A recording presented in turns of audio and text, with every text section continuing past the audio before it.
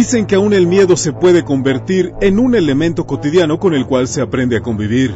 Puede ser, porque el fenómeno ya se observa en algunas entidades del país, en las que la inseguridad se ha vuelto en una especie de pan de cada día. Puede ser, si la sobrevivencia es lo que importa.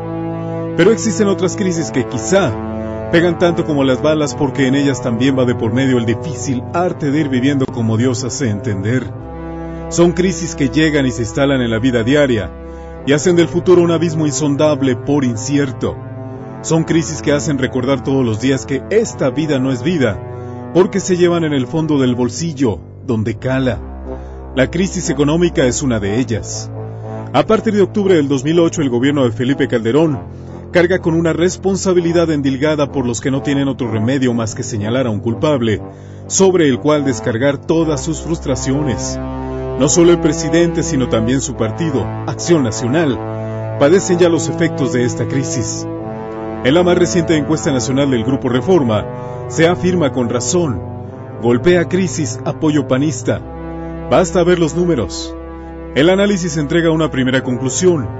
En la próxima elección del 5 de julio, el electorado podría pasar la factura de la crisis al partido gobernante.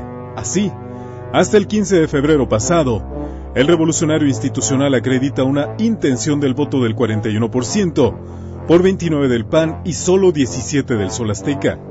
Luego hay dos preguntas que aclaran la razón por la cual el partido del presidente marcha a 12 unidades del puntero. La primera, ¿cómo están las finanzas en su hogar? El 62% dijo, están pasando por un mal momento. Para el 32% se encuentran bien. El restante 6% no lo sabe. La segunda tiene que ver con la preferencia electoral de quienes afirmaron que sus finanzas están mal. En diciembre de 2008 el PRI y el PAN igualaban en preferencias con el 36%, por 17 del PRD. Ahora, el tricolor sube al 41 por 25 del Azul y 19 del Sol Azteca. Es decir, la crisis y la responsabilidad sobre la crisis benefician los intereses del partido de Beatriz Paredes.